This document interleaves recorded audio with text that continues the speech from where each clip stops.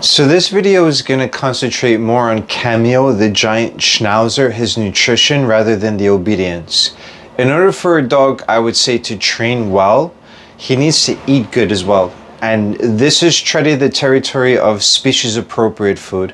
It could make people uncomfortable, but raw food for a carnivore that's species appropriate food, that's the way it's supposed to go. So this video, I'm gonna concentrate on what I feed Cameo, what I feed my dogs, and Cameo came raw fed right off the bat already. So this board and train was very seamless. I understood his nutrition because I am a nutritionist for the raw diet specifically. So anyone that has any questions, please leave them in the comments and I would love to answer and go over them and maybe create a new video just on the questions that you guys asked me.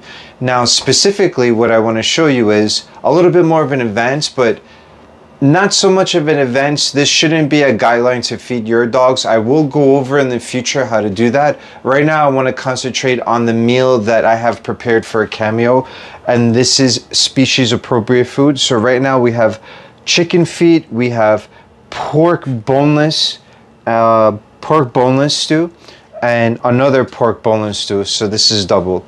Now I'm gonna cut them up, and the idea is we want to feed and you Cameo had a very nice training session today. We went on the subway station, so now he's gonna get fed for that. And on the subway station, you know, we usually use a high quality kibble. I'll go over another video on what we use for training. But in this video, I want to concentrate on what I'm about to give Cameo to maintain his nutrition. So we have chicken feet and a plastic bag here, which is fine. We put it there. The chicken feet is going to give him calcium, is going to give him phosphorus. It's going to give him a lot of nutritions covering from A to zinc. The boneless pork stew, this is boneless, this is red meat. Pork is an excellent red meat to feed.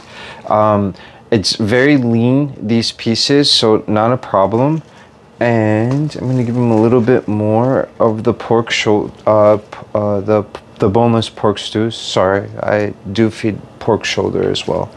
So this would be a pretty good ration, I would say. I'm gonna get rid of some of the chicken feet here, and we have chicken feet. We have this. I would say this is good.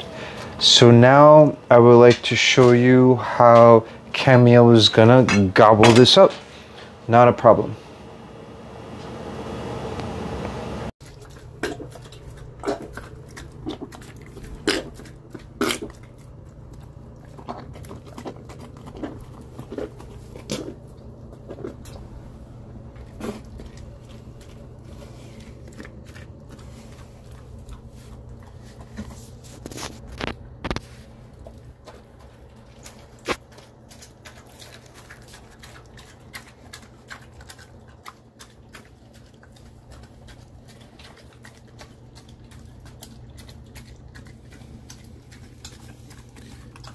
Any questions, you leave them in the comment section. I will answer them. I'm a nutritionist. I specialize in the raw diet. So this board and train was very, very, very good for me. I was able to feed him a species appropriate food and do the training at the same time. You want your dog to have a healthy, long, smart, clear-headed life species appropriate food is the way to go. And he did eat all of the red meat, no interest in the chicken feet. Interesting. Maybe he'll go back to it, I don't know. Uh, no. No. Now, why do you think he ate the red meat first? Well, I'll tell you because the red meat is very tasty and chicken is very bland. It doesn't taste like anything. We use chicken for edible bone and the red meat we use so that we can get the dog his adequate vitamins, minerals, proteins, everything red meat associated is going to taste much better.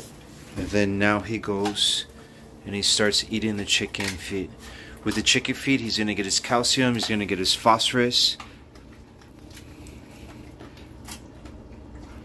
He's going to get his glucosamine. And this is all natural, species appropriate food. This is a giant schnauzer. This is Cameo. This is our board and train. And he did come to us raw fed. So usually in the wild, I would say a little bit of facts. If this was wild dogs, domestic dog in the wild, a wolf, a carnivore, the mother is going to hunt. The mother will have a litter. And then as the pups wean on the milk, they will get off the milk and the mother will start to bring in solid foods into the den and the pups start to eat the solid foods and the milk at the same time. So i get a lot of people that say oh my dog is too young to eat the raw food and things like that. It's totally not true. Raw foods is species appropriate food and if a lot more people went this route there wouldn't be so much problems with dogs you know so leave them in the comment section. Any questions, I would love to answer them. And I hope everyone has a very good weekend. Go watch Doctor Strange. It came out.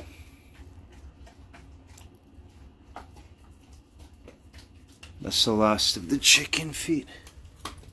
And he's gonna sleep very well today giant schnauzer puppy. He's about five months. There we go.